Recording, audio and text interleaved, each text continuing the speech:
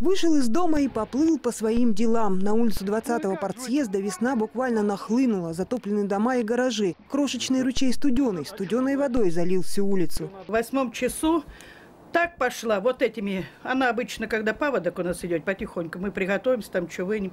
А это шла валом. Во дворе свален ни на что уже негодный линолеум. Третий день жители Нижинки пытаются просушить свои дома. Но пока им это не удается. Вода лилась в дома без малого сутки, поднимаясь все выше по улице.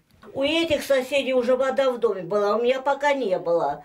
А пока я прошла туда-сюда, подошла, гляжу, у меня уже не пройти. Полтора десятка лет не было такого потопа на Липецкой Нижинке. Люди вызвали спасателей. Они и поставили диагноз. Ручей разлился так внезапно, потому что не мог уйти в реку. Место это забросали мусором. Пока прочищали затор, воду из домов откачивали машинами. 20 машин откачивали, команда. 25 25. Ну, все равно прибивает вода.